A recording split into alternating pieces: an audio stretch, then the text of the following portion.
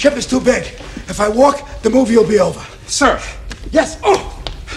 Never have that damn thing down in front of me. How do I know you're not making faces at me under that thing? President Skroob. Yes. There it is.